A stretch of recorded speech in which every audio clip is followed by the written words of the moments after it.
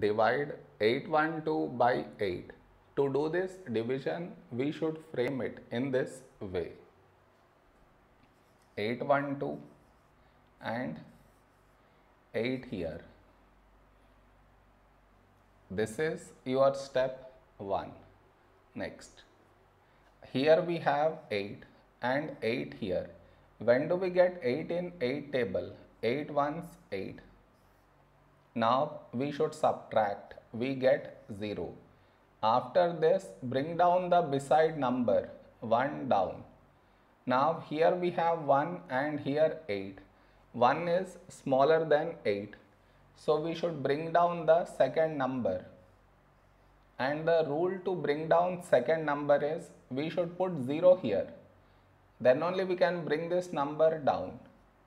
Now 12. A number close to 12 in 8 table is 8 ones 8.